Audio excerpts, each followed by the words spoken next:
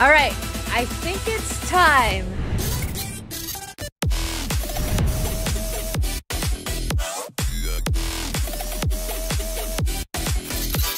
We're very, very, very proud of all of our students and their hard work and their fortitude. All right, come here.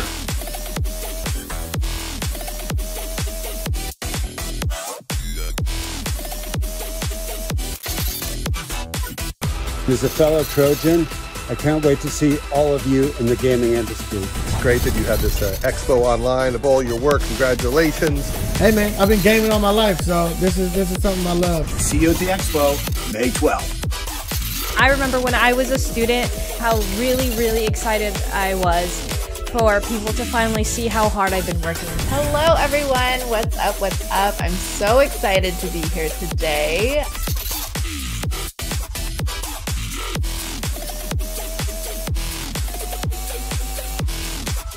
Let's hear it for all the games. Let's hear it for all the games.